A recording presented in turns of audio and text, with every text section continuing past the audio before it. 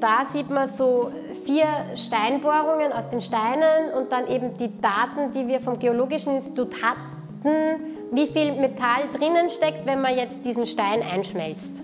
Das heißt, es hat variiert bei Aluminium von 24% für Aluminium bis hin zu 0,8% bei Zink. Und man sieht da schon eigentlich, was 0,8 eigentlich heißt und 25 Prozent. Und das haben wir dann probiert auch in Möbel zu bringen und haben eben die Daten genommen und die haben uns geholfen, das Design zu definieren.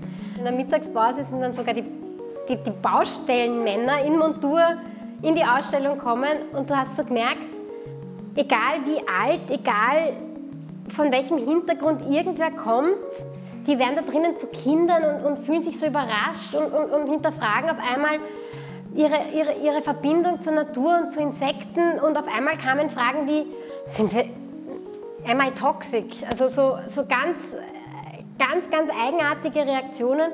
Und eben genau das ist für uns eigentlich die schönste Belohnung, wenn, wenn ein Publikum dann so überrascht reagiert und eigentlich dann auch eine Erinnerung mit nach Hause nimmt.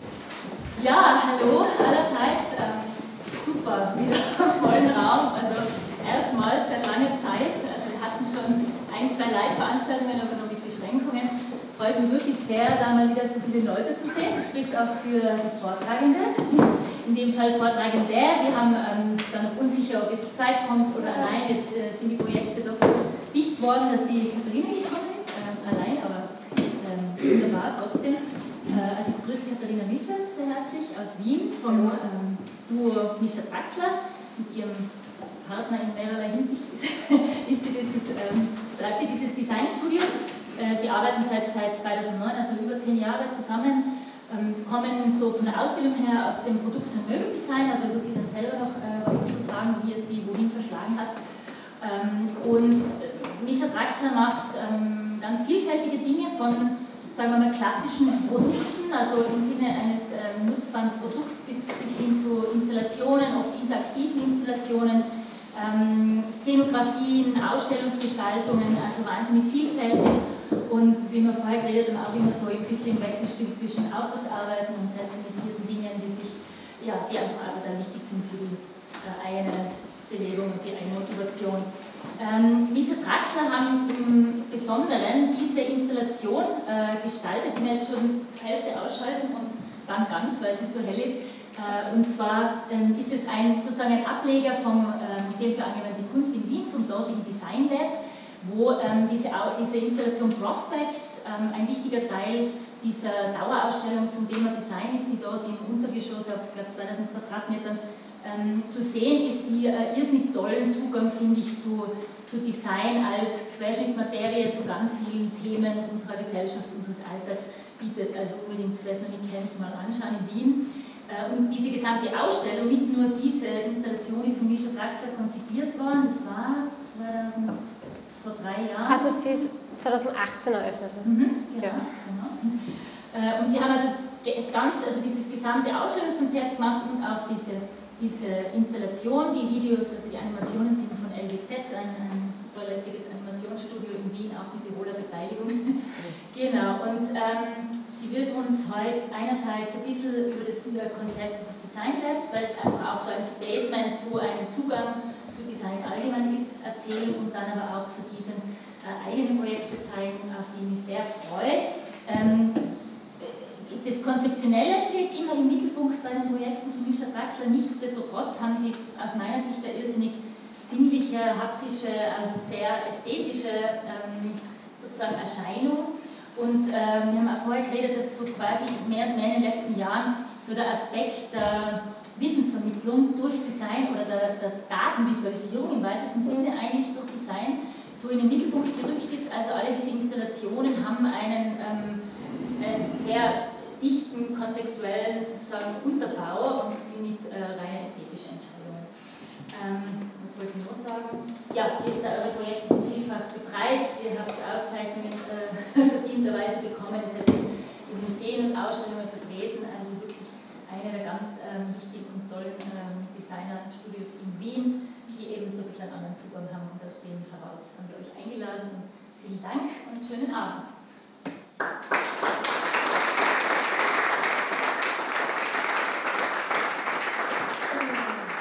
Ja, danke für die lieben einleitenden Worte und schön, dass ich da sein darf und schön, dass Prospects da hängt. Eben deshalb bin ich mal da. Ich nehme an, nicht nur wegen Prospects, sondern auch wegen am Rest, aber eben Prospects bringt uns, oder jetzt mal mich ohne Thomas, nach Innsbruck ähm, und wir haben uns extrem gefreut, wie, wie das Thema aufgekommen ist, ob das MAC Design Lab quasi einen Ableger in Innsbruck für ein paar Wochen kriegt, weil eigentlich das ursprünglich auch eine Idee war des, des Labs, dass man vielleicht auch schauen könnte, gewisse Themenbereiche in andere Ortschaften in Österreich zu bringen und das ist aber dann gar nicht so losgetreten worden. Aber dazu vielleicht ein bisschen später, ein bisschen was mal vorerst zu uns. Eben, das bin ich und Thomas, äh, als wir in unser großes Büro übersiedelt sind 2012. Ähm, mittlerweile, es ist zwar immer noch gleich groß, wirkt aber nicht mehr so groß, sondern es ist vollgestellt mit Zeug. Ähm, eben seit 2009 sind wir in Wien, seit 2012 in diesem Büro im 15. Bezirk und davor haben wir eine Ausbildung uns ein bisschen selber zusammengestückelt, quer über Europa. Wir haben angefangen mit einem Bachelor in Produkt- und Möbeldesign, damals an der NDU, mittlerweile, ah, na, damals die NDC, heutzutage die NDU in St. Pölten. Da gab es einen Produkt- und Möbeldesign-Kurs, der in Kooperation mit dem Curriculum von Kingston University war. Und im Zuge dessen waren der Thomas und ich auch ein halbes Jahr lang in London und es war interessant, weil wir haben festgestellt, dass damals der Zugang zu Design dort weitaus anders war als zu unseren Zeiten in St. Pölten, weil bei uns war ein bisschen die Aufgabenstellung, macht es eine schöne Gießkanne und in England war die Frage, wie kann man Wasser von A nach B bringen. Das Resultat kann ähnlich sein, aber natürlich eröffnet eine andere Frage und Zugangsweise einen ganz anderen Bereich und das war für uns extrem bereichernd und deshalb haben wir dann auch beschlossen, wir wollen einen Master machen, der sich ein bisschen mehr mit so Fragestellungen auseinandersetzt. Und so haben wir dann entschieden, oder wir haben entschieden und dann haben sie uns auch genommen, ähm, dass wir einen Master machen an der Design Academy in Eindhoven und der Kurs hieß damals Conceptual Designing Context. Und nach eben insgesamt fünf Jahren hat es uns aber dann doch irgendwie wieder nach Wien verschlagen. Und mittlerweile, es ist ja nicht nur Thomas und ich, sondern Mischa Draxlers Studio, das Studio impliziert nicht nur einen Raum an sich als, als Raum, sondern dass ein Studio auch meistens mehr Menschen sind und mehr ähm, Hände, Hände und Hirne beinhaltet. Und mittlerweile kann man sagen, dass wir so zwischen fünf Leute im Büro sind. Also meistens Thomas, ich, zwei fixe Mitarbeiterinnen und dann haben wir immer wechselnd Praktikanten, die eben bei uns auch reinschnuppern und aber nicht nur schnuppern, sondern nach einiger Zeit auch wirklich tatkräftig ihren Input zu unseren Arbeiten auch geben. Also es ist immer schwer zu sagen, wo liegt eigentlich dann noch die Authorship, wie man so sagen will und man darf das gar nicht unterschätzen, wie viel einfach auch in gemeinsamen Dialogen entsteht. Ähm, grundsätzlich in unserem Büro ist es extrem wichtig, dass wir Dinge angreifen und selber machen. Aber natürlich sitzen wir auch am Computer und wir versuchen unsere Augen einfach offen zu halten. Beispielsweise haben wir ein Jahr lang nur die toten Insekten aufgehoben, die man so beim Putzen findet. Fanden die extrem interessant. Wir wussten zwar nicht, was wir damit machen, aber eben es geht darum, auch ein bisschen so im Alltag ähm, Dinge zu finden und zu suchen. Natürlich, manchmal ist es auch extrem frustrierend und es geht nicht alles so einfach dahin, wie man meinen würde. Ähm, als Büro selbst, ähm, ja, wir, wir versuchen eigentlich vielfältig zu sein. Es hat sich aber auch einfach so ergeben aufgrund unserer Interessen, aufgrund der Hintergründe, mit wem und für wen und mit wem wir kooperieren. Und dementsprechend machen wir Objekte und Möbel. Wir machen aber auch Produktionsprozesse und deren Resultate. Das war am Anfang auch oft der Fall, weil wir gewisse Konzepte maschinell machen wollten aufgrund von gewissen Parametern, aber dann gab es die Maschine nicht und dann wollten wir, dann haben wir halt auch die Maschine gebaut. Das heißt, für uns ist eigentlich wichtig, dass wir den ganzen Prozess einer Herstellung beachten. Manchmal fangen wir eben ganz, ganz, ganz vorne an, ehe wir dann beim Resultat enden und das hat, das involviert eben, dass wir manchmal dann eben auch Maschinen bauen. Ähm, wir machen eben Installationen und Displays für Firmen, aber auch auf äh, in Museen und Messen. Ähm, wir streifen so ein bisschen die Bandbreite zur, zur, zur Media Art, also wir machen interaktive Installationen, ähm, die eben sehr viel Technik auch involvieren und in den letzten Jahren eben mit dem Markt Design Lab hat es angefangen, dass wir auch kuratieren und ein bisschen so Art Direction machen in verschiedenen ähm, ähm, institutionellen Hintergründen, was auch total spannend ist und nebenbei unterrichten wir auch noch. Also das heißt, ich glaube, es ist die ganze Bandbreite an Interessen und Möglichkeiten, die bei uns irgendwie so sich wiederfinden. Ähm, ein bisschen was zum Markt Design Lab. Das hat eben vor drei, drei Jahren schon? Ja, vor drei Jahren schon eröffnet. Ähm, na, ich glaube 2018 haben wir zum Denken angefangen, 2019 wurde es eröffnet. Ähm, genau, es war ein großes Projekt, weil ähm, wir sind an uns, also das MAC ist an uns herangetreten, ob wir gerne das Untergeschoss eben mit dem MAC Design Labor neu überdenken wollen würden. Und das war ja relativ neu, es war eigentlich, es war vier Jahre alt, aber uns kam es gar nicht so alt vor. Und ähm, wir haben uns gedacht, eigentlich total spannend, weil als Designer hat man natürlich einen ganz anderen Zugang zu welche Projekte man gerne im Museum sehen würde, als vielleicht ein, also ein gängiger Kurator hat und mag. Wobei das kann ich jetzt nicht beurteilen, weil ich ja noch nie ein, also ja. Aber im Prinzip, es war dann ein total spannender Dialog, weil es waren dann Thomas, ich und zwei Kuratorinnen vom Markt, die Malis Wirth und die Janina Falkner. Und wir gemeinsam haben eben diese 2000 Quadratmeter unten neu überdacht und die bestehenden ähm, Räumlichkeiten ein bisschen über den Haufen geworfen und beschlossen, wie wird eigentlich das Mark Design Lab ausschauen, wenn sie sich mit ähm, ähm, Vorgaben und Notwendigkeiten des 21. Jahrhunderts beschäftigt und das eigentlich über Design und Designprojekte versucht auch zu vermitteln auf unterschiedlichen Art und Weisen. Und ähm, 2000 Quadratmeter ist wirklich groß und im Endeffekt, es war dann ein Jahr Konzeption und Realisationsphase. Das war fast sehr, sehr ambitioniert. Zu guter Letzt waren wir dann alle wirklich froh, dass wir es noch geschafft haben in der kurzen Zeit. Aber ähm, ja, wir sind wirklich stolz drauf, was dann passiert ist. Ähm, ein Teil ist eben die Installationsprospects, die man hier jetzt in kleiner Kopie, wobei so viel kleiner ist gar nicht, ähm, auch nochmal bewundern kann. Ähm, da werden die Rollen von Design aufgerollt. Die wurden im Zuge eines Workshops erarbeitet mit verschiedenen Kreativen aus Wien und so einem Research Lab, die geholfen haben, die auch zu formulieren. Und wir haben dann gemeinsam, also wir das Kuratorenteam haben dann, ich glaube, 13 Positionen eben ausgewählt, die auf den Bildschirmen ähm, gezeigt werden.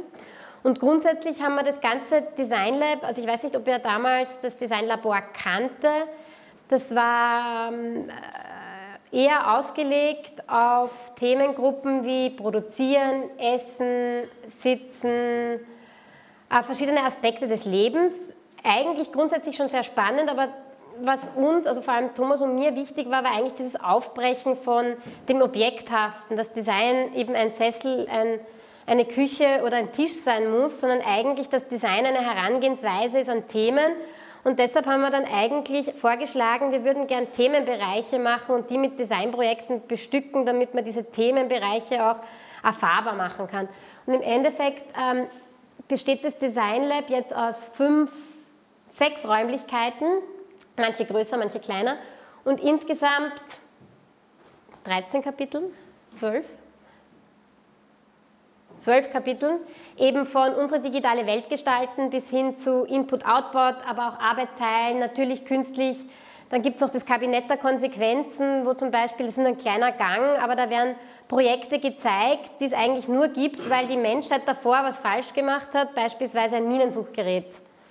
Würden, hätten wir nicht irgendwann Minen vergraben, bräuchte man keine tollen Designer, die dann eigentlich Minensuchgeräte machen. Also da geht es genau um dieses Kabinett der Konsequenzen, das belegt das Design immer eine Konsequenz von etwas ist. Oder eben auch das Design-Dilemma, dass, dass ein Designprojekt nie alles lösen kann und automatisch in sich immer ein Dilemma darstellt, bis hin eben zu Themen wie sichtbar, unsichtbar, wo es um Daten und DNA-Bereich geht, beziehungsweise Resonanz, wie wir vielleicht zukünftig agieren sollen. Also das, das Lab versucht wirklich so einen Bogen zu spannen, was sind wichtige Themen von heute. Und im Zuge dessen haben wir natürlich auch die Ausstellungsgestaltung dann übernommen ähm, wobei die Architektur geblieben ist. Also es wurde eigentlich architektonisch nur sehr wenig verändert, äh, was halt gerade notwendig war für die verschiedenen Kapitel. Und wir haben versucht eigentlich über simple Backdrops ähm, das, die Gestaltung neu zu, zu äh, adaptieren.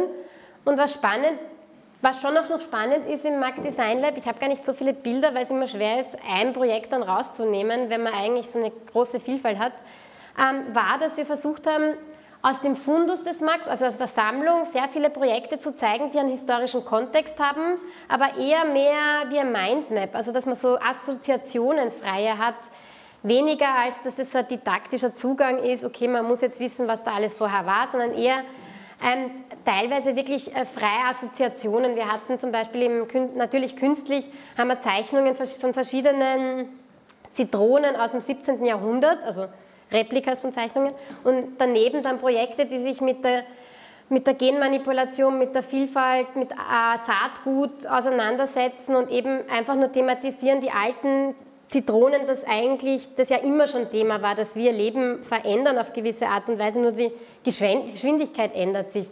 Und andere Beispiele sind eben das, das, das iPhone-Display, da haben wir aus der Sammlung lauter Objekte gesucht, die eigentlich heutzutage in einem iPhone oder halt in einem Smartphone drinnen stecken. Sei es jetzt von der, von der Schreibmaschine über das Telefon, über den Kalender, über den Spiegel. Also alles, was man früher als Objekt in einer Sammlung hatte, kann man heutzutage im Smartphone mitschleppen. Aber natürlich darf man nicht vergessen, dass im Smartphone dann innen drinnen ja wieder ganz viele Sparten an Design stecken, die vielleicht im ersten Moment nicht so sichtbar sind wie App-Design, Grafikdesign, Interface etc. Die ganzen Applikationen, die man im ersten Moment dann nicht überlegt, wer macht das eigentlich alles. Und dass genauso viel Design in dem Teil steckt, also im linken und dann auch im rechten, aber der halt nicht gleich so schön in eine Vitrine zum Stecken geht.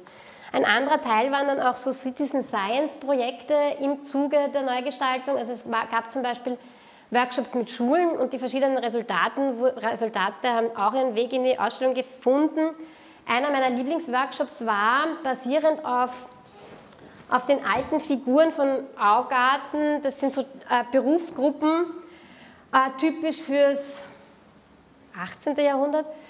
Ähm, so Obstverkäufer und Bandler und verschiedene Berufsgruppen auf Märkten viele davon, die man heutzutage gar nicht mehr kennt. Und die Schulen haben dann erarbeitet ähm, Jobs der Zukunft, also wie vielleicht die, ihre Berufe in 50 Jahren sein könnten. Und die Berufe wurden dann mit einer Designerin, also nicht mit uns, aber mit einer anderen, als kleine ähm, Kostüme gebaut. Und die Kinder haben die dann tragen dürfen und wurden dann 3D gescannt und das wurde dann farbig gedruckt.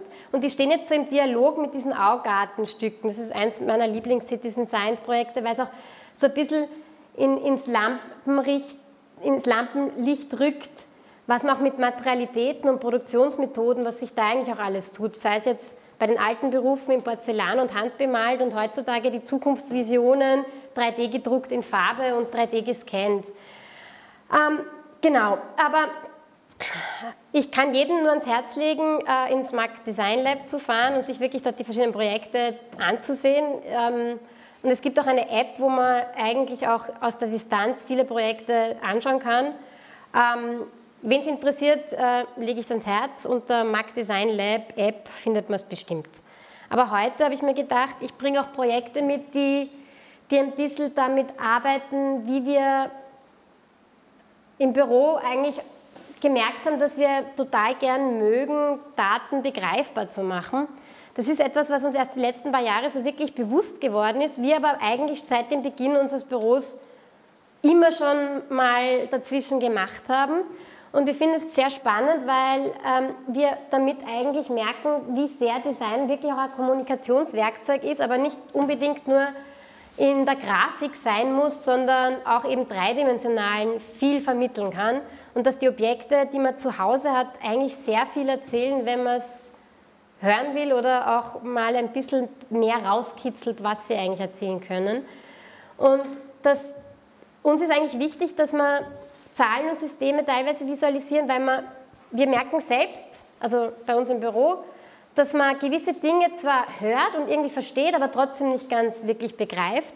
Und ein nicht visuelles Beispiel davon ist zum Beispiel eine Million und eine Billion, also bei uns heißt das Milliarde, Entschuldigung, ähm, eben man lernt in Mathematik, wie viele Nullen das sind und man liest ständig in der Zeitung, wie viele Milliarden für das und jenes ausgegeben werden. Aber eigentlich, mir ging es so, ich hatte überhaupt keine Ahnung, was das eigentlich heißt. Und wenn man Millionen in Sekunden umrechnet, ist es quasi eine Million Sekunden sind 1,5 Wochen. Aber eine Milliarde Sekunde sind 32 Jahre. Das heißt, erst einmal nur diese Übersetzung, also bei mir hat das extrem viel ausgelöst, weil auf einmal habe ich verstanden, was das für ein Zahlenunterschied überhaupt in sich ist. Und es sind aber auch nicht nur Zahlen, sondern noch viel mehr. Aber Zahlen beschäftigen uns beispielsweise schon seit 2008. Eins unserer ersten Projekte heißt Relimited. Das hat eben 2008 begonnen und ist immer noch nicht abgeschlossen. Also es ist eine Serie an Objekten, wo immer wieder mal was dazukommt. Ähm, und es schaut im ersten Glimpse so aus. Also es sind eher organisch anmutende Dinge. Und es hat begonnen mit einer Recherche, was man eigentlich in der Überflussgesellschaft noch braucht und was ein Designer in der Überflussgesellschaft machen kann, weil uns war wichtig eigentlich mal sich die Frage zu stellen, was man hier machen kann und vor allem, wir waren damals noch Studenten, wir waren jetzt nicht irgendwo in Indien oder in Afrika oder sonst wo, sondern wir waren da und wir wollten wissen eigentlich, wie wir jetzt da auch reagieren können. Und dementsprechend hat sich unsere Mindmap ähm, aus, äh, in, in, alle möglichen Richtungen ähm, gestretched über Massenproduktion und wie man eigentlich dieses Kurzzeitdenken überkommen kann, aber natürlich auch Umweltprobleme, Müll, äh, äh, Pollution, äh, Verschmutzung, danke, und eben was Design alles machen kann, aber auch eben Long-Term Thinking bis hin zu, dass der neue Luxus eigentlich Dinge sind, die man nicht angreifen kann, wie Sicherheit, Zeit, Raum, Stille, also eigentlich Dinge, die jetzt ganz schwer so in ein Objekt zu fassen sind. Und die Mindmap an sich hat uns nicht gleich so weit, weggebracht, aber dann sind wir auch über ein lustige Quote gestolpert, nämlich Limited Editions are definitely a product of a time of affluence. Und zu der Zeit, das war vor der ersten, also vor der, vor der Wirtschaftskrise 2008, da gab es solche, mittlerweile sind es eh die Preise wieder gleich hoch, aber da waren die Preise extrem hoch am Kunstmarkt und wir als junge Studierende haben uns gedacht, wie kann es sein, dass wer für einen Tisch ein paar hunderttausend Euro hinlegt? Wie geht das? Und, und, und eben zu der Zeit war auch dieses, ähm, dass das Design wirklich limitiert ist und Limited Editions. Und wir haben uns gedacht, wie kann das sein, dass das jetzt acht Tische sind und nicht zwölf und nicht drei? Und das war uns irgendwie alles so den Haaren herbeigezogen. Und dann dachten wir, naja, vielleicht kann man unsere Recherche und dieses Zahlenspiel irgendwie auch mit der Realität verbinden und dachten, wir bringen Zahlen und Realität ein bisschen zusammen, weil es gibt genug, was wirklich limitiert ist auf diesem Planeten und das ist zum Beispiel, dass wir natürliche Grenzen haben und, und die man auch thematisieren kann. Und so ist Real Limited als Konzept entstanden und als Konzepterklärung nehme ich immer gern den Braunbären her, weil es einfach so greifbar ist. 2008 gab es in Österreich zwei Braunbären, Vater und Sohn. Und unsere Idee war, wenn wir die zwei Braunbären quasi als Sofa repräsentieren, am Kunstmarkt ganz teuer verkaufen, könnte man mit einem Geld vielleicht an, an weiblichen Bären aus Slowenien oder Italien, die würden dann vielleicht kleine äh, Bärenkinder zeugen und ein paar Jahre später gibt es kleine Babybären und damit könnte man wieder drei Sofas machen und dadurch wird eigentlich Geld, also es wird von Limited zu Unlimited und auch jedes Mal, wenn was verkauft werden wird, wird Geld eben für den Erhalt des Braunbärens genutzt werden. Äh, mittlerweile, glaube ich, gilt offiziell der Braunbär in Österreich ausgestorben, aber das war auch gar nicht damals das Thema, weil wir kamen dann drauf, naja, die Bären will eh jeder retten, den äh, WWF hat seinen Panda-Bären und jeder will den Eisbären retten, aber es gibt ganz viele Lebewesen, die eigentlich fürs Ökosystem extrem wichtig sind, die aber als Kuscheltier nicht so gut funktionieren. Und wir kamen eben in der Recherche über genau solche Kreaturen. Ähm, die sind alle auf der roten Liste ähm, an vom Aussterben bedrohten Arten in Österreich. Und wir haben uns eben dann mit, mit Biologen ein bisschen unterhalten und haben dann ein paar ausgesucht und haben dann die erste Edition eben mit dem glattstieligen Stockschwämmchen gemacht. Das ist eine Schwammerlart, die auf ähm, natürlich absterbenden Holz äh, wächst. Also es braucht einen Baum, der umfällt und verrotten darf, dass das halt wachsen kann. Was in, der, in manchen Wäldern halt nicht so oft passiert, dass so viel Totholz liegen bleibt. Und de dementsprechend ist das eben vom Aussterben bedroht. Ähm, wir haben nach Bildern das dann in Wachs modelliert und in äh, Zinn gegossen und eben ein Regal gestaltet. Und insgesamt laut Liste gibt es ungefähr Schätzungen, dass eigentlich nur noch ähm, ungefähr 220 von diesen glattstieligen Stockschwämmchen geschätzt werden, das in den natürlichen äh, Wäldern noch gibt. Und dementsprechend haben wir dann einige eben aufs Regal, auf dem sind glaube ich 18.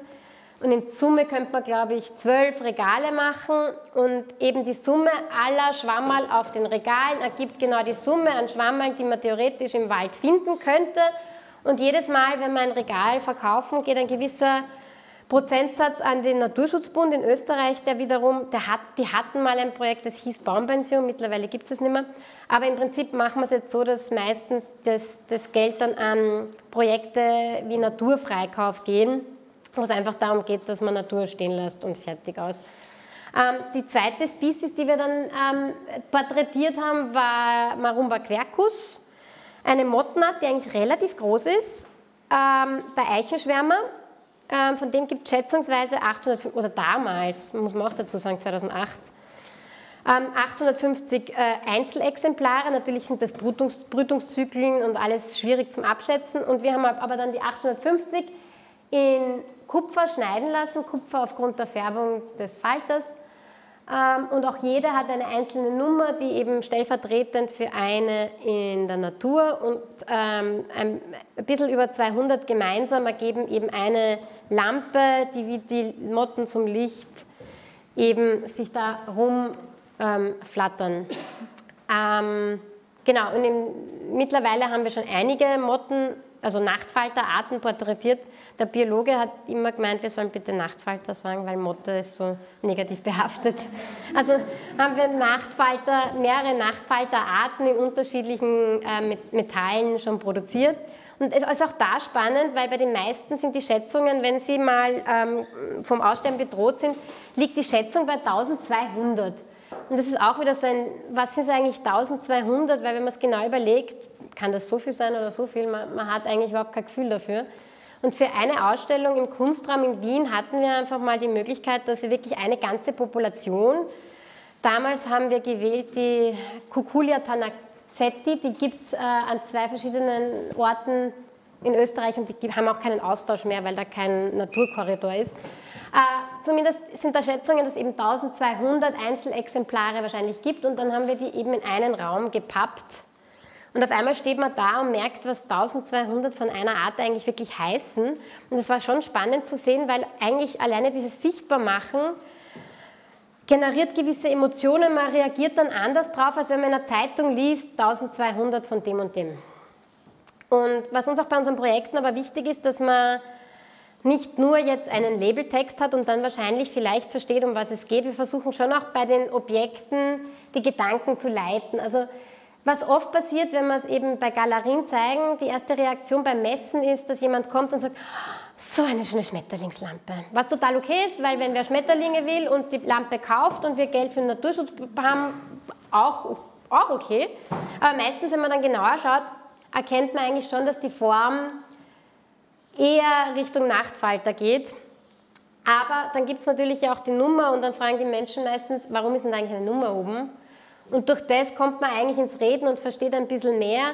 Und bei der Lampe selbst zum Beispiel gibt es auf der Fassung dann, dann genau die Listung, wie viele bei dieser Lampe verbaut sind von einer Gesamtpopulation. Und man kann sich dadurch schon noch ein bisschen erarbeiten, was die Arbeit eigentlich erzählen möchte.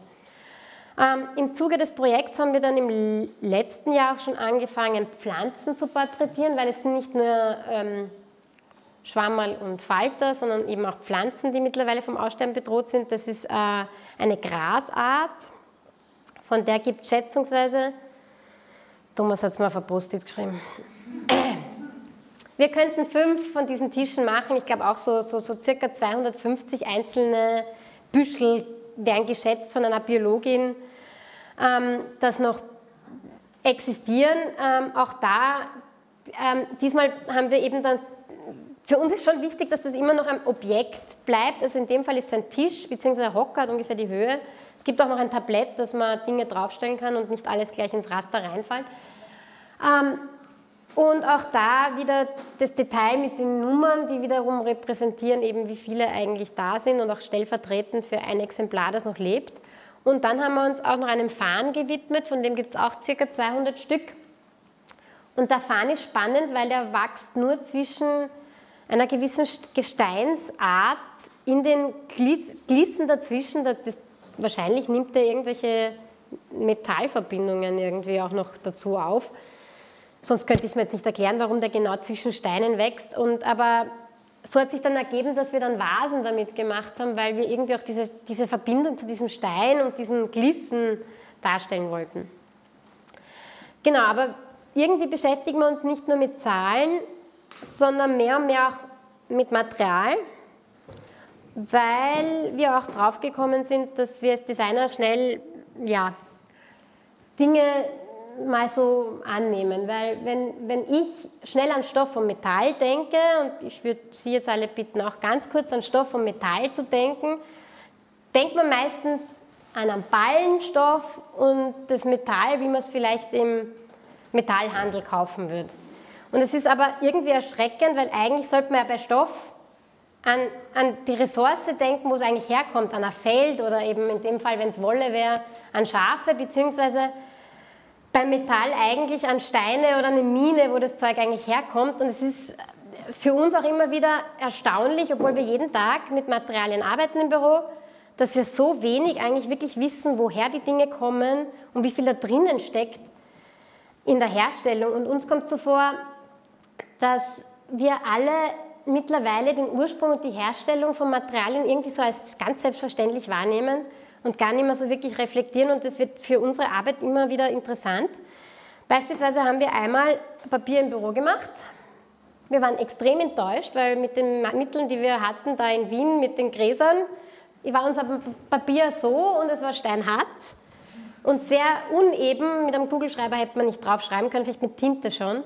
Das heißt, sogar so ein weißes Papier ist eigentlich eine technologische Errungenschaft und wir nehmen es einfach so schnell her und schmeißen es in den Papierkorb, weil es halt da ist. Und das ist spannend, weil es gibt zum Beispiel, die haben auch im, im, im Design Lab drinnen, die Pyramid of Technology by Next Nature. Und das ist so eine Überlegung, ähm, dass jede Technologie eigentlich von jemand erdenkt und irgendwann ein paar Jahrtausende später, je nachdem, wird es dann so natürlich wahrgenommen, dass man gar nicht mehr wahrnimmt, dass das eigentlich eine technologische Errungenschaft ist. Beispielsweise die Kontrolle über Feuer. Wir wissen, wir nehmen Feuer so für wahr und irgendwann aber für irgendwelche Steinzeitmenschen war das ja die Technologie schlechtweg. Und es ist auch spannend, weil die argumentieren halt, naja, jetzt haben wir die Smartphones und wir nehmen die auch schon immer mehr und mehr so als gegeben wahr und die waren immer schon da und wir können es uns gar nicht mehr ohne vorstellen. Und das ist eigentlich eine ganz spannende Überlegung. Eben wann was akzeptiert wird und wann, wann man es so irgendwie in sich aufnimmt, dass man es gar nicht mehr als was Neues wahrnimmt. Und deshalb war, ist uns bei einem Projekt jetzt eben das Verhältnis Rohmaterial zu finalen Objekt total wichtig geworden und das Projekt heißt Ratio, das haben wir 2020 gemacht. Und es hat begonnen, äh, das war in Kooperation mit MAU, das ist ein Museum in Ljubljana, und einer ähm, Ausstellungsreihe, die hieß Made in, Crafts Design Narratives, das war eine Kooperation aus mehreren Instituten, also Mao war dabei, aber auch der Bregenzer Wald und ein paar andere Ausstellungshäuser im, im, im, in eher Osten. Und die haben immer verschiedene Designer gefragt, was sie mit gewissen äh, Handwerksbetrieben machen täten und haben auch Workshops zum Thema Handwerk gemacht. Und uns haben sie eingeladen und uns gefragt, mit was wir gern arbeiten würden. Und irgendwie sind wir dann bei einer Exkursion haben uns mehrere Handwerksbetriebe angeschaut und wir sind dann bei Stein und bei einem Steinmetz gelandet, weil wir noch nie mit Stein gearbeitet haben und dachten, spannend, lass uns mal mit Stein arbeiten. Und im Zuge dessen haben wir irgendwie auch realisiert, dass interessant ist, dass Steine zwar überall sind, aber auch Steine ganz viel beinhalten. Und so hat sich irgendwie dann langsam ein Projekt ergeben, das sich angeschaut hat, was gibt es eigentlich für unterschiedliche Steinarten in Slowenien und dann hatten wir auch ein ganz tolles Gespräch mit dem Direktor vom ähm, Geologischen Institut in Ljubljana. Das war total faszinierend, weil am Anfang war bei mir war es immer so, na Steine sind Steine. Ich muss gestehen, ich hatte nicht so ein ist eine Offenbarung für die Geologie. Aber dieser, dieser Institutsleiter, der hat von sich poetische Aussagen getätigt, die waren überwältigend und eine davon war, und die ist eigentlich so banal, what we cannot grow, we have to mine. Und wenn man wirklich im ersten Moment darüber nachdenkt, denkt man sich, eh klar. Aber wenn man dann wirklich darüber nachdenkt, kommt man drauf, das ist wirklich viel, was irgendwann einmal ein Stein war. Und darum haben wir dann beschlossen, wir würden gerne diese ähm, Möglichkeit, mit einem Steinmetz zu arbeiten, nutzen, dass wir ein bisschen darüber reden, was so in Steinen drinnen steckt und haben uns dann aber auf Metalle ähm, fokussiert, weil natürlich man hätte auch jetzt über Marmor reden können oder über Porzellan etc., aber wir haben uns dann auf Metalle geeinigt und haben dann nochmal mit dem Geologischen Institut Rücksprache gehalten, wo es einmal Minen gab, wo wirklich mal ähm, ähm, e-, Erze abgebaut wurden und haben uns dann von ihnen ungefähr auch ähm, die Menge an Metall in diesen Erzen schätzen lassen. Also, weil man kann natürlich die Minen damals äh, in Slowenien nicht ganz vergleichen mit Minen heutzutage in Australien und Brasilien, weil halt natürlich die Relation zwischen wie viel Metall steckt in dem Erz ein bisschen ein anderes ist, aber nicht so weit, ich meine, ja, weniger, aber nicht so weit weniger und haben uns dann eben die Mengen geben lassen und haben dann gemeinsam mit Benno Ogrin, das ist ein ganz toller Steinmetz, in Slowenien Steine gesucht aus den diversen Regionen, die gewisse Metalle enthalten und eben eine Kollektion ähm, ähm, designt. Da sieht man so vier Steinbohrungen aus den Steinen und dann eben die Daten, die wir vom Geologischen Institut hatten, wie viel Metall drinnen steckt, wenn man jetzt diesen Stein einschmelzt. Das heißt, es hat variiert bei Aluminium von 24% für Aluminium bis hin zu 0,8% bei Zink. Und man sieht da schon eigentlich, was 0,8 eigentlich heißt und 25 Prozent. Und das haben wir dann probiert auch in Möbel zu bringen und haben eben die Daten genommen und die haben uns geholfen, das Design zu definieren. In Summe haben wir dann fünf Objekte ge gestaltet. Jedes davon hat eigentlich einen gleich großen Brocken Stein, und jeder Stein enthält ein anderes Erz und wenn man diese Menge an Stein äh, prozessieren täte, also diesen einen Brocken prozessieren täte, würde man die gleiche Menge an Metall kriegen, die mit dem Objekt gezeigt wird. Ich hoffe, das war jetzt verständlich. Ähm, das heißt zum Beispiel bei, bei Zinn, bei Zinn ist ähm, 0,8 Prozent ähm, in dem Stein enthalten. Das heißt, wir konnten dann eben so einen kleinen Haken biegen und der kleine Haken wäre in diesem Zinnblock, wenn man es einschmelzt. Bei Kupfer war es ein bisschen mehr, das heißt diese kleine Platte, die oben so als Tischchenandeutung mit einem anderen Stein äh, äh, gehalten wird, ist eben die Menge an Kupfer. Bei Eisen ist es schon ein bisschen mehr, ähm, weil Eisen hat 16,5 Prozent. Das heißt, wir haben dann einen ähm, Stainless Steel Mirror, ähm, einen Edelstahl, danke, poliert, so stark poliert, dass er fast schon wie ein Spiegel wirkt. Und einen Spiegel draus gemacht und eben dann auch sogar noch mit einer Legierung gespielt. Wir haben äh, Bronze, eben Kupfer und Zinn, zwei Steine miteinander auch noch dargestellt, wie viel Bronze man eigentlich draus kriegt. Und das Spannende war eigentlich wirklich mal diese Relation vor Augen zu haben, weil natürlich das spricht jetzt nicht nur für diesen Tisch, das gleiche gilt ja für eine normale Schraube auch, und ähm, mit dem Projekt selbst haben wir dann auch ähm, vier, wir nennen es Inspirationsbücher ausgestellt, weil es ging natürlich ja nicht nur um das Verhältnis von wie viel Metall im Stein, sondern in, in, in einer Linie auch darum, was eigentlich der Steinmetz mit diesem Brocken macht, damit dann überhaupt so ein schöner Tisch raus wird. Das heißt, das erste Buch der Serie war eben From a Stone to an Object und hat dann über mehrere Seiten erklärt, ein bisschen, was da alles drinnen ist in der Arbeit von diesem Steinmetz, um dieses Objekt zu machen. Dann die zweite, das zweite Buch war Nothing is Ever Lost.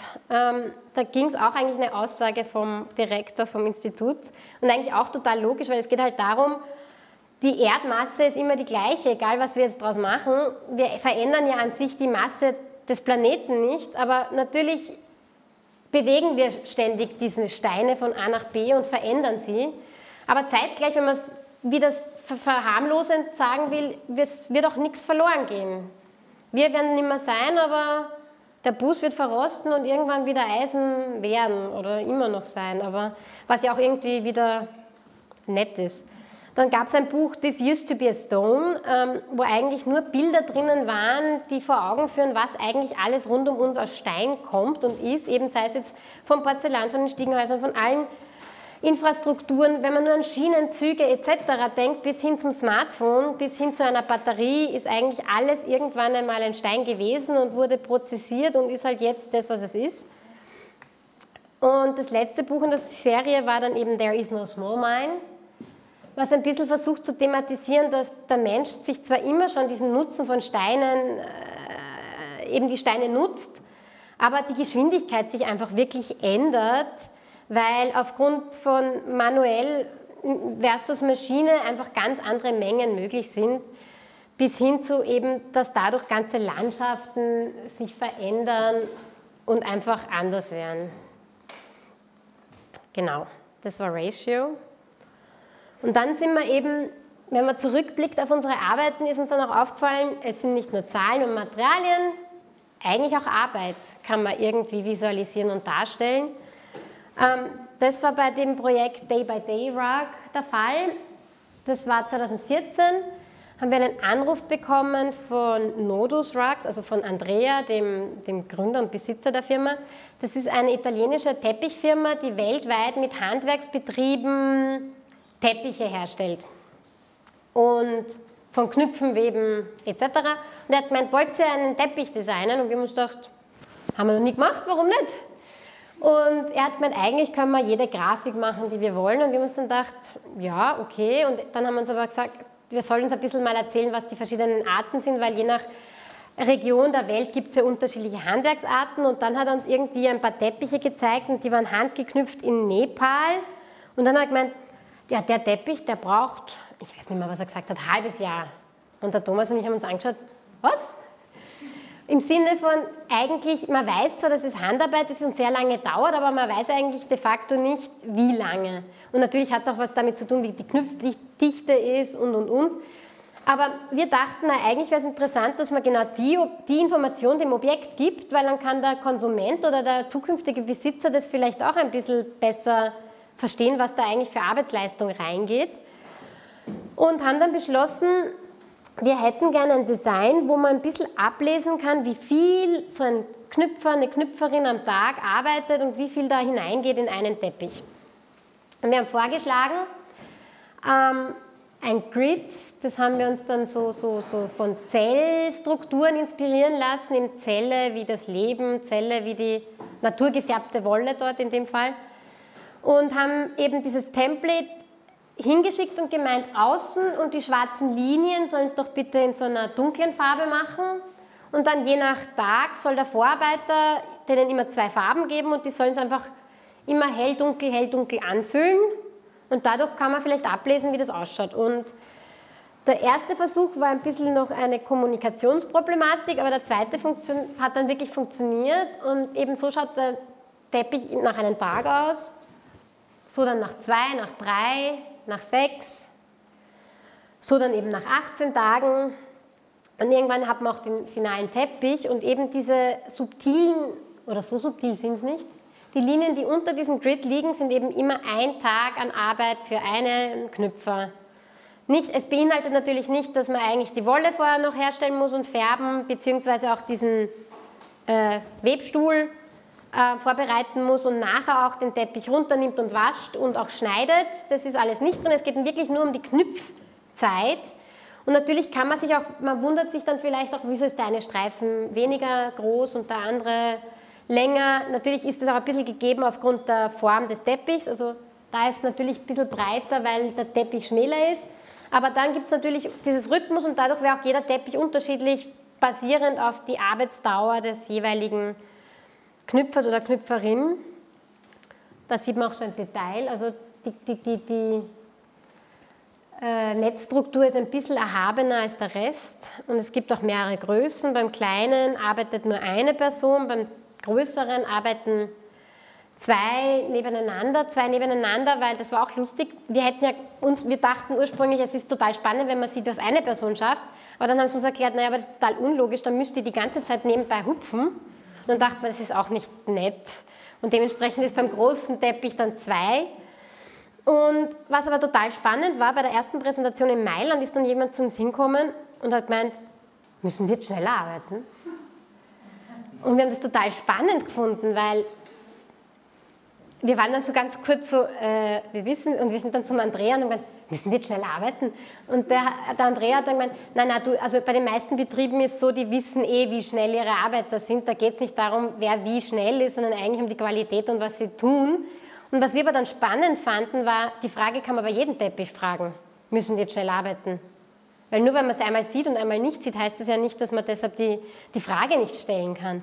Und das fanden wir eigentlich spannend, dass, weil wir diese Information geben, eigentlich ein gewisses Level an Empathie entsteht und dadurch auch die Leute ganz anders dann nochmal zu dem Objekt drüber nachdenken. Und das fanden wir wirklich ähm, für uns total bereichernd. Eben jeder Teppich kriegt dann auch ein, ein, ein, ein Lederlabel, wo auch draufsteht dann, wer es gemacht hat und, und, und wann der Knüpfstart war und wann sie es wirklich dann vom Webstuhl runtergenommen haben. Und uns geht es ein bisschen da ums Erleben und Verstehen. Einerseits, wenn man was zu Hause hat, aber jetzt kommen wir auch drauf, warum man auch manchmal ein bisschen, warum wir öfters auch interaktive Installationen machen, weil durchs durch die interaktiven Installationen kann man manchmal so ein Erlebnis haben, was man ganz anders abspeichert. Und da habe ich jetzt ein Beispiel noch mitgebracht. Das ist die Curiosity Cloud. Die ist 2015 entstanden und ist eine interaktive kinetische Soundinstallation. Die ist entstanden für das Champagnerhaus Periget, mit denen wir mehrere Projekte eigentlich realisieren durften. Und es fing damit an, dass sie 2000, ein paar Jahre, also zwei Jahre davor, haben wir angefangen, an einem Projekt zu arbeiten. Und es ging immer darum, dass Periget, die haben ein sehr, die haben sie nennen es ein bisschen ähm, Jugendstilerbe. Weil zum Beispiel die, die, die Anemone auf ihrer äh, Vintage, nicht, ja, Vintage-Flasche geht zurück auf Emile Gallet, einen französischen Jugendstilkünstler, und sie haben auch eine extrem große private Jugendstilsammlung. Und die Aufgabe war ein bisschen, wie kann man diese äh, Idee des Jugendstils ins 21. Jahrhundert bringen und somit ein bisschen die, die Firma vermitteln und jemanden ähm, anders näher bringen. Und da waren für uns dann so Inspirationen Optionen waren einerseits Ernst Haeckel, die Formen der Natur, das ist äh, kurz um, vor der Jahrhundertwende, also 1898 oder so, rausgekommen und war Inspirationsquelle für Eiffel und, und, und, andere Architekten zu der Zeit. Und was spannend war, da war ein bisschen so ein bisschen Fantasie gemischt mit der Recherche von damals und es war so künstlerisch angereichert, aber doch mit wissenschaftlichem Hintergrund. Und das hat uns sehr fasziniert und eben diese Artenvielfalt. Und andererseits dachten wir bei Champagner, na, bei Champagner geht es immer um einen Moment. Und meistens auch so, man trinkt dann Champagner und ist ein bisschen melancholisch, weil kaum cheerst man, denkt man sich, ja, gleich ist wieder vorbei. Oder zumindest uns ist so dabei gegangen. Und dann dachten wir, das wollen wir, genau diesen Moment wollen wir einfangen und dachten uns, ja, was ist, wenn wir versuchen, eben diesen Moment in der Natur, wenn man ein Reh sieht und kaum sieht man es, ist weg. Wenn wir das versuchen zu, zu, zu einzufangen und haben eben ein Projekt gemacht, das hieß Ephemera und das war ein Tisch, der mit Intarsien gespielt hat und die Intarsien waren einerseits ein bisschen, ähm, haben, haben lebendig sind äh, lebendig erschienen, aber kaum ist man dem Tisch näher gekommen, waren sie flach und haben eigentlich, der Tisch hat so eine Funktion offeriert. Und das Projekt ist sehr gut angekommen und dann war eben die Nachfrage, könnt ihr uns nochmal so etwas Ähnliches machen, aber anders? Und es war total schönes Kompliment und wir haben uns total gefreut, weil die Kooperation wirklich super war mit ihnen und haben dann überlegt, naja, was, was könnte man machen? Und eben bei Ephemera, man sieht da ein bisschen was und auf unserer Website gibt es noch mehr, ähm, haben wir sehr viel auf, sind wir auf Pflanzen eingegangen und so Pflanzenmotive im Jugendstil und dann dachten wir, naja, vielleicht können wir was mit Insekten machen, weil im Jugendstil, wenn man sich die, also im französischen Jugendstil muss man ja vielleicht dazu sagen, wenn man sich die Arbeiten anschaut, ist alles voller Insekten. Also da ist da einmal ein Nachtfalter und dort mal eine Bälle. Das heißt, es wimmelt so von kleinen Kreaturen und wir wollten genau das ein bisschen einfangen, aber auch vielleicht diese Idee von diesem Moment in der Natur reinbringen und haben dann vorgeschlagen, ähm, dass wir Insekten in Glasglocken geben und wenn man dann in die Nähe kommt, wollen die wegflattern. Aber sie können nicht, weil das ist in einem Museum und sie werden so beschützt vom Menschen, aber auch weil sie beschützt sind, können sie nicht weg. Und das ist so eine Ambivalenz, so man protect, also man schützt, aber irgendwie sind sie auch nicht frei. Und der Museumskontext war gegeben aufgrund der Tatsache, dass sie gemeint haben, das Projekt wird im V&A, also im Victoria and Albert Museum in London gezeigt. Und dann war eben unser Vorschlag, so könnte es ausschauen. Und natürlich, man, stellt, man, man sagt, okay, wir machen ein paar hundert Glasbulbs für diesen 60 Quadratmeter Raum. Und dann war man so, naja, was, wie, wie, wie viel braucht man denn wirklich? Und im Büro war es dann so, dass wir angefangen haben, mal mit Luftballons abhängen, damit man mal so ein Gefühl kriegt, wie viele braucht man, damit man ein Raumgefühl kriegt, dass man da wirklich wo durchschreiten kann. Und so haben wir irgendwie dann definiert, es wären 265. Ähm, und dann war es auch so, naja, wir haben zwar gesagt, wir wollen da Insekten reinhängen, aber ein Teil war auch so, dass wir gemeint, meinten, ein Drittel davon sollen ausgestorbene Insekten sein, die seit Art Nouveau ausgestorben sind. Das heißt, es war auch klar, wir können da jetzt nicht irgendwas reinhängen, sondern wir müssen das selber nachbauen können, damit das auch, erstens damit wir die Anzahl hinkriegen, zweitens damit wir uns aussuchen können, welche Insekten etc. Das heißt, wir haben dann im Büro auch angefangen, Insekten zu bauen und produzieren. Zeitgleich waren uns dann auch irgendwann bewusst, wir müssen das Ding als erster aufbauen, weil sonst kann man, man kann sehr viel am Computer, aber wir können zum Beispiel nicht wirklich voraussehen, wie das eigentlich sich dann anfühlt, wenn man wo durchgeht, welche Höhe das braucht und, und, und, und vielleicht gibt es Renderer, die das wirklich können, aber in unserem Fall war es, wir bauen es lieber und manuell schauen wir dann, wie es passt. Und ähm, genau, das waren dann die Prototypen für die Insekten, eben aus verschiedenen Kategorien ähm, ausgestorben, ähm, sehr gängig, also die, die der Mensch am nächsten schnell auch benamsen kann, also Marienkäfer, Zitronenfalter und dann auch neu entdeckte Arten, um eben so eine Bandbreite zu zeigen. Und so hat es dann im VNA ausgesehen. Und jetzt erzählen wir das in einem Video und ich kann einmal kurz was trinken.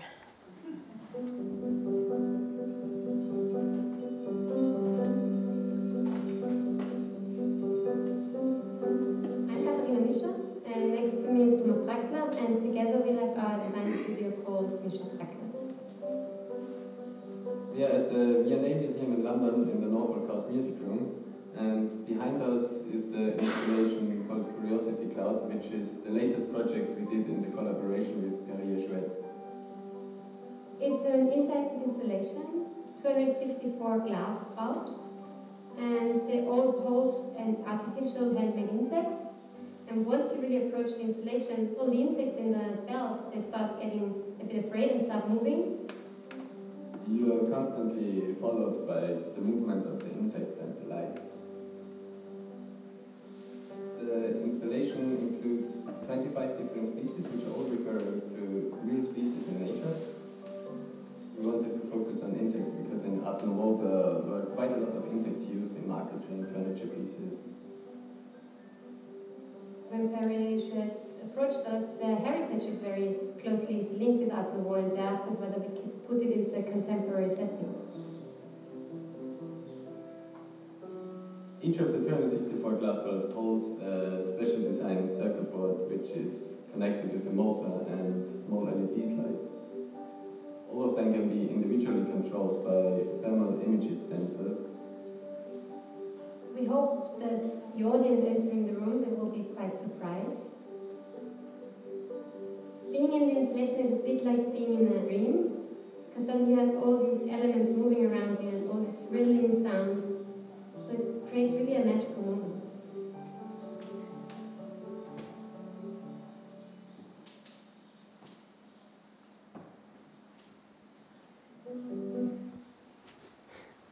Genau. Ähm, was für uns besonders spannend war, ist, in, das Projekt haben wir dann in London eben im VNA aufgebaut und äh, in England gibt es ja die Policy, dass man eigentlich ja in die Dauerausstellungen von fast jedem Museum einfach gratis reinspazieren kann. Und in unserem Fall war das dann so, dass neben wir VNA gerade so eine Baustelle war und in der Mittagspause sind dann sogar die, die, die Baustellenmänner in Montur in die Ausstellung kommen und du hast so gemerkt, egal wie alt, egal von welchem Hintergrund irgendwer kommt, die werden da drinnen zu Kindern und, und fühlen sich so überrascht und, und, und hinterfragen auf einmal ihre, ihre, ihre Verbindung zur Natur und zu Insekten und auf einmal kamen Fragen wie, sind wir, am I toxic? Also so, so ganz, ganz, ganz eigenartige Reaktionen und eben genau das ist für uns eigentlich die schönste Belohnung, wenn, wenn ein Publikum dann so überrascht reagiert und eigentlich dann auch eine Erinnerung mit nach Hause nimmt. Weniger als ein Stück, aber eher diese Erinnerung an diesen Moment. Und wir hoffen eben, dass genau solche Erfahrungen auch manchmal die Sichtweise auf gewisse Themen ändert, einfach weil man dann ein bisschen einen Eye-Opener oder ein bisschen einen anderen Blickpunkt drauf hat und dann vielleicht zukünftig auf manche Themen ganz anders reagiert. Genau. Danke.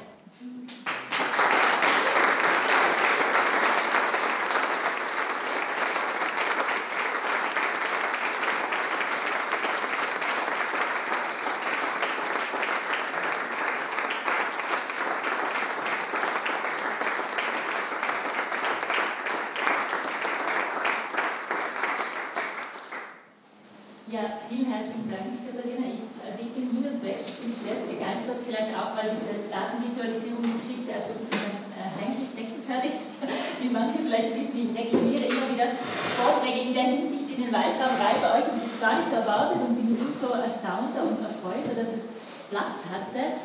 Ähm, ich glaube, ich gebe einfach gleich ins Publikum. Äh, wer hat Fragen?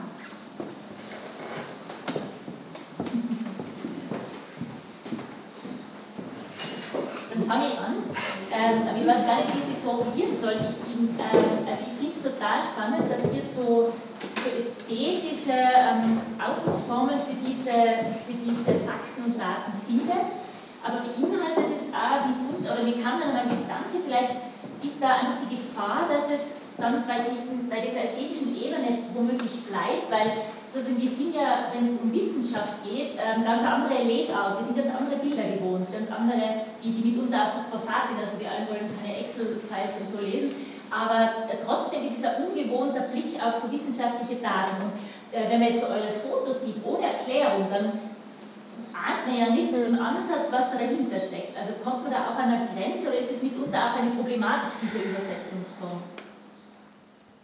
Also in erster Linie wollen wir ja einfach Objekt, also für uns ist der Anspruch, dass meistens, wir tun uns extrem schwer mit einem weißen Blatt und mit einem macht's irgendwas. Und, und, meistens kommt als erst ein Konzept rein, damit wir uns eigentlich auch irgendwo anhalten können. Und, und manchmal kommen dann eben auch diese wissenschaftlichen Daten, und manchmal, ich glaube eigentlich, ich würde fast behaupten, das ist ein bisschen so unser Strohhalm zur Gestaltung. Weil wir nehmen eben, das gibt so viele Parameter dann vor und, und so ergibt sich automatisch das Design. Und uns ist natürlich wichtig, dass eigentlich am Schluss das Ding stimmig ist. Und natürlich, wenn man dann das andere noch erfahren kann, wir sehen das ein bisschen wie, wie mehrere Schichten. Das heißt, ganz vorne steht dieses Objekt und im Idealfall gefällt es jemandem, dass man sich überhaupt anschaut. Und dann gibt es vielleicht eben ein Detail, damit man sich denkt, ah, da ist vielleicht noch mehr dahinter. Und dann liest man vielleicht mal den Text oder taucht weiter da. Und dann gibt es eben diese Schicht dahinter, wo man dann, wenn man will, eben erfahren kann, hey, da geht es um, um, aussterbende Arten oder hey, da geht es um, um die Verhältniskeit von dem und dem. Und eben dann kann man sich das eigentlich leicht, leicht finden, aber wenn man es nicht findet und das Objekt trotzdem mag, ist auch vollkommen okay. Genau, Genau, für uns können sie genau unabhängig existieren, aber ich glaube, wir könnten sie nicht unabhängig voneinander kreieren. Und dass das jetzt dann großteils, oder wenn ich es richtig verstanden habe, ist es jetzt doch großteils in einem Ausstellungssetting, also welche Objekte gibt es da, welche, die wirklich in Serie gehen, die auch dann als, wie soll ich sagen, industrielle, also mit Massenprodukt, aber die, wo es eine kleine Serie gibt, ähm, oder ist es doch immer sehr eingeschränkt da? Es ist eher eingeschränkter. Wir haben ein paar Sachen dann mit Galerien Eben, der, der, Teppich ist eigentlich ein Serienprodukt, aber natürlich, das ist eher höher Preissegment, dementsprechend ist jetzt auch nicht für alle gleich so fürs Wohnen. Also, ich meine, gerne. Ähm, ja, wir hätten es natürlich gern auf einer größeren Ebene, aber dann hat man natürlich auch gleich wieder äh, andere Parameter, die man dann in Kauf nehmen muss. Weil wir haben zum Beispiel eine, eine, eine leider jetzt nicht mehr in Produktion, aber wir hatten eine Obst- und Gemüseschalen-Serie in Produktion. Da ging es um, um so Abdrücke. indirekt ja auch eigentlich, was essen wir, gibt wieder vor, wie die Gestalt von einem Objekt ist. Und da war spannend, weil in der Produktion war dann die Diskussion, naja, aus welchem Material wer wo produziert. Und dann kommen auf einmal schon so Parameter rein wie wo man dann vorsichtiger agieren muss, als wenn man bei einer Galerie eher eine kleinere Menge hat, ist halt der, der negative Impact tendenziell nicht gleich verhaut, weil kann nicht so viel schief gehen, als wenn man jetzt in China 5 Millionen davon produziert. Und eben das ist halt auch so ein bisschen dieses Design-Dilemma, von dem wir auch vom Markt Design Lab geredet haben. Weil in der Ausstellung haben wir eben auch eine Schale, weil damals war es auch so, wir wollten mit der spanischen, also produzierenden spanischen Firma, die in Madrid, die dann lustigerweise mit einem Hersteller, der normalerweise Heiligenfiguren herstellt, äh, produziert hat, wollten wir eigentlich ein, ein biologisch abbaubares äh, Harz benutzen und es war dann nicht möglich, weil es kein Zertifikat gibt, dass das Lebensmittel echt ist weltweit. Das heißt, wir haben dann schon so ein bisschen rausgekitzelt, wie könnte man das eigentlich auch, auch, auch, auch mit einem Umweltgedanken anders machen, aber dann sind wir gescheitert an einem Zertifikat. Und ich glaube, genau da gibt es dann natürlich, tut man sich einfacher, wenn man im Museum ein Stück hat, dass man schnell viel richtig macht, als wenn man eine Million Stück wirklich richtig machen muss. Und da will ich also gut ab vor denen, die in großen Mengen das richtig mhm. schaffen. Dass man sich dann auch anderen Themen stellen Genau, also, ja. Ja, mhm. ja das ist ja ein klares Statement. Ja. Bitte, es sind inzwischen Fragen aufgetaucht. Ja, bitte. Meine Frage würde eigentlich fast an das anschließen ich habe mir, also zuerst, ich finde die Arbeit voll spannend und voll interessant, vor allem weil ich Theologie studiere, hat es mich auch sehr angesprochen. Ähm, was ich mich noch gefragt habe, ähm, beispielsweise bei den Regalen mit den Pilzen, ob es nicht irgendwie widersprüchlich ist, was zu machen, um der Natur zu helfen quasi, also um Lebewesen zu helfen, die auf der roten Liste zu stehen und dann gleichzeitig Materialien zu verwenden, die aber dann wo abgebaut werden, wodurch dann halt die Natur wieder darunter leidet. Also ob das, was mich interessiert hat, ob das halt auch so, so Fragen sind, die dann auch gestellt werden, so okay, von welchen Materialien verwenden wir jetzt, um nicht unseren eigenen, unseren eigentlichen Ideen zu widersprechen. Na, das, das war schon immer Thema. Und ich meine, in erster Linie, wenn man genau den ersten Teil der Frage würde ich sagen, man muss voll aufpassen, weil sonst dürfte man irgendwann gar nichts mehr machen. Und natürlich muss man seine eigene Balance finden. Beim zweiten, eben welche Materialien wir benutzen, das war total Thema, weil zum Beispiel bei, einer bei, den, bei den Nachtfalterlampen ist wirklich immer eine Metallart. Weil wir uns gedacht haben, wenn es irgendwer nicht mehr will, dann kann er es nehmen und zum Altmetall geben. Ich meine, wir hoffen natürlich, das wird keiner machen, aber theoretisch ist es total sortenrein. Ähm, und beim Regal zum Beispiel, natürlich, da ist es nicht der Fall. Ähm, weil die zwei miteinander verbunden sind und auch ein bisschen äh, äh, Harz dabei ist zum Fixieren. Ähm, aber wir gehen davon aus, wer so ein Stück hat, wird es nicht sofort wegschmeißen. Und selbst da, das Zinn kann man auch recht gut runternehmen vom Rest. Aber es ist schon bei jedem Projekt bei uns immer wieder ein bisschen Thema man muss eben ausbalancieren, wann man sich dann für was dann doch entscheidet. Weil, ja, nehmen wir, nehmen wir die schöne Installation rechts da haben wir auch diskutieren müssen, naja, in, in, in, wenn man es genau nimmt, macht man ja 13 Bildschirme kaputt. Also wenn man es ja. jetzt pragmatisch betrachtet. Natürlich, man gibt ihnen einen anderen Wert und eine andere, andere Daseinsberechtigung, aber in erster Linie reduziert man sie eigentlich ihrer ersten Funktion. Es ist immer so ein Ausbalancieren der, der, besseren, der hoffentlich besseren Entscheidungen, aber eben man muss da schauen, wie man sich durchnavigiert. Anders kann ich es nicht sagen.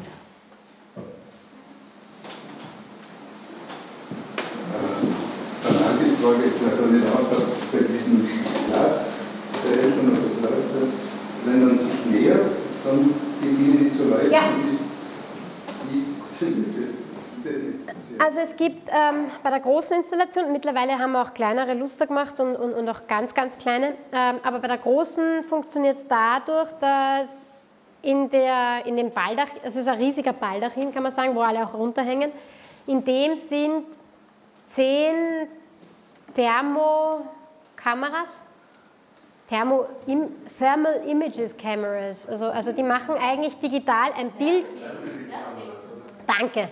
Wärmebildkameras, die gewisse Bereiche filmen und aufgrund, wenn da jemand wärmer ist als der Raum, schaltet dann der Code eine gewisse Anzahl in dem Bereich an, an, an, an Bulbs ein und die Insekten fangen an zum Schwirren. Wie schwirren die? Da ist ein kleiner Motor. An dem Motor hängt eben dieses handgemachte Insekt an einem kleinen Faden. Und das Spannende war, oder das Spannende ist, ähm, das haben wir eigentlich bei einem anderen Projekt mal rausgefunden, eher beim Testen, dass, dass wenn man ein, ein, ein, einen rotierenden Körper hat, dass der sich anfängt zum Abstoßen. Man kennt das ein bisschen von der Fliege im Glas. Und das Spannende bei uns war aber auch, dass wirklich die aerodynamische Form der jeweiligen Insekten einen Einfluss darauf haben, wie die Flugbahn ist. Was, wenn man darüber nachdenkt, eigentlich total logisch ist, aber im ersten Moment hätten wir das nicht erwartet. Aber manche Insekten schwirren anders als andere. Und hat sie da Angst gehabt, dass viel wird in der Zeit? Ähm, oder ist das wahrscheinlich mal passiert? Oder, ähm, was bei den Insekten? Bei den Insekten selber, die halten es aus, weil da haben wir lang genug getestet. Also wir haben ja, also ich könnte eine, wir haben eine Schublade an Fehlversuchen. Manche wirklich scheußlich wie die Nacht oder sehr aufwendig, dass man halt nicht 200 davon machen könnte. Aber da haben wir viel getestet, eben was aushalten. Was sie manchmal machen, ist, wenn der erste Moment, das Anstarten zu schnell ist, kann es sein, dass sich der Faden aufzwirbelt dann ist quasi fürs Museum in dem Moment kaputt, aber bei uns kann man wieder einen neuen Faden dran geben und dann funktioniert es wieder. Und die Geräusche, da entstehen auch Geräusche, oder? Das Kling, Kling, Kling, Kling ist einfach von des Insektes, wie man es wie kennt, nur dass halt unsere Insekten ein bisschen stabiler sind und deshalb ist das Geräusch auch ein bisschen lauter. Also es ist sehr, es ist sehr laut. Also wirklich, die große Installation wirkt ein bisschen wie ein Almabtrieb. Wirklich. Das ist jetzt übertrieben, ja. Es ist wirklich sehr laut. Anschluss. Ich mache so, so zauberhaftes, so ephemere, ja, nicht ephemere, falsch, so, so, wo der James Watt so, so, ja, so, so nicht greifbare Dinge, so, so, so oder wie auch immer, aber es sind Dinge, ja. Also, ich habe gerade gestern den Begriff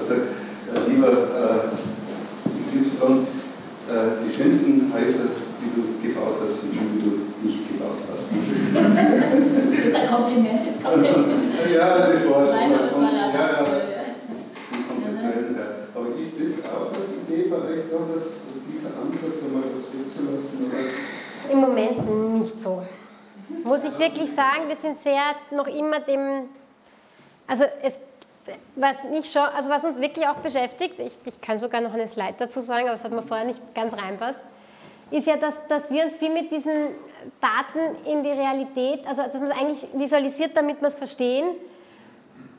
Und was uns auffällt, ist eigentlich, dass man mehr und mehr eigentlich auch Realität zu digitalen, weil da kommt man, heutzutage wird ja auch diskutiert, diese ganzen digitalen Artworks, da, da, da.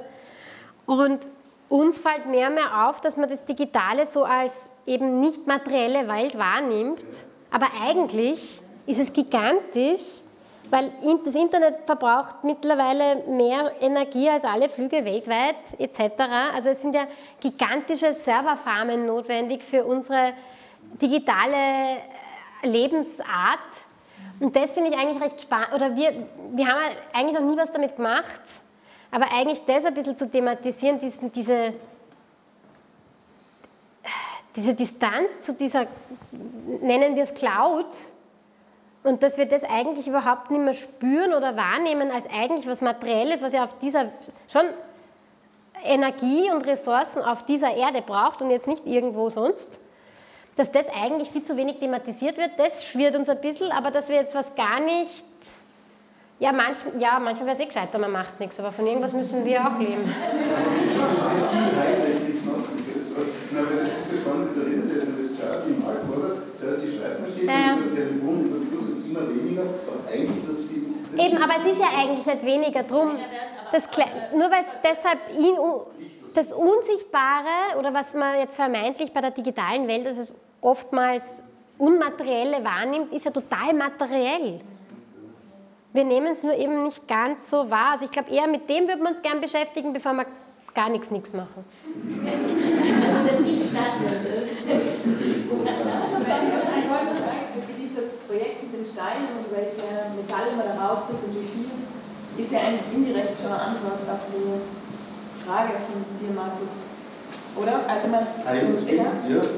Also empfinde ich so, weil eigentlich, ähm, wenn man das sieht, kriegt man ja Bewusstsein dafür, wie wertvoll Gegenstände sind oder Naturmaterialien und so weiter, aus denen alles geschaffen wird. Und das ist ja Wenn man sie so isoliert darstellt, oder? So, so sichtbar macht. genau, oder halt diese ganze Information dazu kriegt, wie Dinge entstehen und woraus und was notwendig ist. Und, ähm, das ist ja eigentlich ein super Ansatz, um quasi ein Bewusstsein für das zu kriegen, äh, wie viel was wert ist und was man braucht und was nicht. Wir haben eben kleinere Objekte in der Serie dann später noch gemacht, eben die letztes Jahr auch bei der Vienna Design Week ausgestellt waren. Und was, was da spannend war, war, dass wir so ein kleines Mobile gehabt haben, wo ein Kupferstück gehängt ist, das ungefähr so groß war wie so eine 5-Cent-Münze. Natürlich ist eine 5-Cent-Münze jetzt nicht 100% Kupfer, aber man hat eigentlich dann so ein, so ein, eben da haben wir auch mit so extrudierten Steinen ein bisschen wie die Verhältnismäßigkeit auf dem Bild ähm, als Gewicht gehabt und auf der anderen Seite eben das eine Kupferteil. Und auf einmal hat man irgendwie so gesehen, was das heißt, wenn man eigentlich ein Kupferfünferling irgendwie wegschmeißt, weil man eigentlich so einen Stein wegschmeißt. Und den ganzen Prozess, der jetzt gar nicht dabei steht. Und das Gleiche gilt ja für jede Schraube, die man beim Aus... Also man kennt es, man ist in der Werkstatt, man hat ein paar rostige Schrauben, man denkt sich nichts dabei, man gibt es zum Altmetall, weil warum auch? Aber das eigentlich mit jeder Schraube, die man wegschmeißt, schmeißt man so einen Stein von irgendwo weg. Oder gut, wenn man Glück hat und es ist ein brasilianischer Stein mit einer Verhältnismäßigkeit von 50, weil er wirklich viel Eisen beinhaltet, dann schmeißt man halt ein bisschen weniger weg, weil der recht gehaltvoll war. Aber alleine, was in einer Schraube steckt, das ist ein Stein und dann hat man ja noch gar nicht den ganzen Prozess dabei, was es braucht, dass man aus diesem Stein das Metall rauskriegt, geschweige denn aus dem Metall dann die Schraube macht. Also es sind ja so Sachen, und uns schreckt im Büro immer wieder selber, dass das irgendwie eben diese Aussage, everything we, don't, we cannot grow, we have to mine, das ist so, ja, eigentlich, wenn man darüber nachdenkt, ist das, wie man es in der, in, in der Volksschule lernt. Eisen kommt, aus, wenn man Glück hat, die Milch kommt von der Kuh und vom, das Eisen kommt aus der Mine, aber eigentlich, man lernt es und irgendwann vergisst man es, man, man nimmt so eben auf als so gang und gäbe. Und mich, mich erschreckt es wirklich im Büro so oft, diese Bezuglosigkeit, die man so schnell hat. Und ich frage mich, ich frage mich selber immer, wie man den Bezug wieder auch herstellen kann, ein bisschen. Oder wieder, vielleicht kann man ihn nicht wiederherstellen. Ich frage erst auch noch ein bisschen dazu, eben, weil habt eigentlich die Frage, haben wir am Anfang auch schon beantwortet, weil also was jetzt die Welt dann vollstellt mit allen möglichen Materialien, also Dingen, die man produziert, weil das im Endeffekt ja alles gleich viel bleibt auf der Welt. Ja. Und das sehr gut gefallen, das Ansatz. Und, und ich finde in Bezug auf Energieerhaltungssatz und so weiter, ja, ist es halt so. Zum Schluss bleibt alles gleich. Ja, irgend, ob wir was halt davon haben oder nicht, ist halt die, Ja, die Frage. ja das, das habe ich gedacht. Und kann natürlich keine Entschuldigung sein für das, was wir Nein. da sozusagen falsch einsetzen und un falsch umleiten. Genau. Äh, so äh, ja, da und dann da. Ah, Habt ihr auch irgendwie schon eine Arbeit oder ein Projekt, wo ihr das Recycling mit einbeziehen wollt, wo man quasi im Vergleich mit dem Rohstoff des Erz zu einem recycelten oder so auch darstellt oder so? Ganz- Das ist ja dann auch ganz nicht. Was wir gemacht haben für eine Ausstellung in Beirut, war, dass wir so ein bisschen Urban Mining ins Visier genommen haben. Das war eben Aluminium. Um wie viel Aluminiumdosen man eigentlich für ein Stück Aluminiummetall braucht. Das war dann so ein Aluminiumhaufen, den man dann noch Aluminium coaten haben lassen. Es gibt nämlich einen, einen Metallsprüher in Wien, also die schaffen es, dass man Metall sprüht. Egal. Wir hatten dann so einen Haufen an Metalldosen gepresst, also eigentlich fast schon zu einem Block gepresst, so wie man es aus der Müllverwertung kennt. Und da drinnen war dann eigentlich, wie viel das Native wäre, wenn man das wieder recycelt. Aber das dann in Verbindung zum Stein haben wir noch nicht gemacht. Und wir haben das Projekt auch noch gar nicht so wirklich, das hat Investment geheißen, das haben wir lustig gefunden. naja, eigentlich wie viel Geld auch in diesen Sachen steckt, aber den Bezug dann von dem zum Stein und der, also diese ganze Kurve haben wir noch nicht, die ganze Parabel haben wir noch nicht. Intus. War was, ja? Ähm, ja, mich würde mal interessieren, weil ich bin kein Geologe und habe dazu überhaupt keinen Zugang. Ähm, jetzt ist ja dieses Ratio-Projekt, äh, also man stellt das Ganze ja sehr drastisch dar, wenn man dann wirklich sieht, wie viel Steine im Prinzip dann im Verhältnis zu dem Metall. Ähm, wie ist das denn? Ist dann wirklich in diesem Stück Stein nur dieses eine Metall, was man da rausbekommt, oder und der Rest ist unverwertbar? Oder ähm, was ist mit dem Rest vom Stein? Also, ähm, da kann man jetzt in einer, Ideal, also in einer guten Mine, in Brasilien beispielsweise, weil die haben wirklich eine sehr konzentrierte Eisengehalt dort, da, da wären theoretisch noch andere Teile da, aber das wird, ist nicht rentabel, dass die noch rausdingseln. Das heißt, der halbe Stein ist quasi, kann man weiterverarbeiten und das andere halbe Stein ist Müll. Kann man jetzt bei relativ ähm, effizienten Minen sagen. In Österreich zum Beispiel der Erzberg, ich habe nicht nachgeschaut, weil ich mich interessiert habe nochmal, der hat 20 Prozent. Also da kann man aus einem Stein 20 Prozent rausholen, das ist ein bisschen mehr wie bei unserem Spiegel. Und der Rest ist eigentlich, ich meine, es hängt immer von, das ist jetzt wirklich Geologenfrage, es hängt wirklich von der Region ab, weil es gibt äh, Arten, wo in einem Stein fünf verschiedene Metalle drinnen sein können und es gibt Arten an Steinen, wo sonst nichts drinnen ist. In unserem Fall war es so sogar, dass unser Eisenstein und der Aluminiumstein aus der gleichen Region waren. Also die waren eigentlich Nachbarsteine, nein, aber fast. Also die, da wäre beides theoretisch drinnen, aber beides auch nicht in der Verhältnismäßigkeit, dass Slowenien jetzt High-Ranking ähm, Erznation wäre. Ich weiß nicht, ob das hilft, aber, aber es ist... Aber es ist wirklich spannend, weil beim Aluminium zum Beispiel, da gab es ja vor, weiß nicht, zehn Jahren mal diese Katastrophe in Ungarn, wo so ein Becken übergelaufen ist, weil gerade bei Aluminiumproduktion ist ganz viel Bauxitschlamm. Und das war gigantische rote Massen an, an ja, das war, ich meine, hat eigentlich sehr ästhetisch ausgeschaut, muss ich leider sagen. Also es war wirklich wie eine Kunstinstallation, aber eigentlich alles äh, hoch, hochgiftig. Das heißt, das Ding ist ja nicht nur, da, ich will jetzt auch gar nicht bashen gegen die, wir, wir alle brauchen die Metalle. Aber es ist interessant, dass man eigentlich bedenkt, wie viel Seit- Abfall oder Nebenprodukte da entstehen und wie viele Schlamm, Abwasser äh, etc. da überall bleibt. Genau.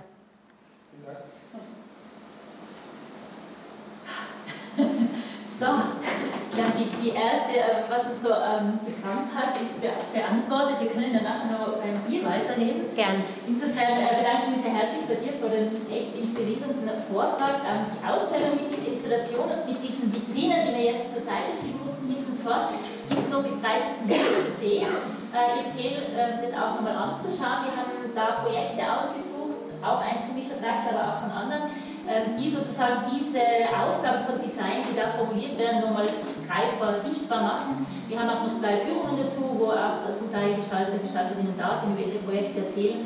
Das vielleicht hat der eine oder andere nur Zeit zu kommen.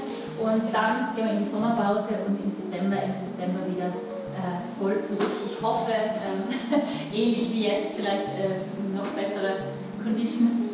Und äh, jetzt wollte ich euch noch bitten, ich habe das noch nie gemacht, aber vielleicht ist nachdem es jetzt draußen regnet, super, wenn jeder einfach seinen Stuhl nimmt, wenn er aufsteht und da links und rechts der Installation so an, an die Wand äh, lehnt, dann haben wir dann da einen Platz äh, Papier. Super, ich danke sehr und wünsche noch einen schönen Tag.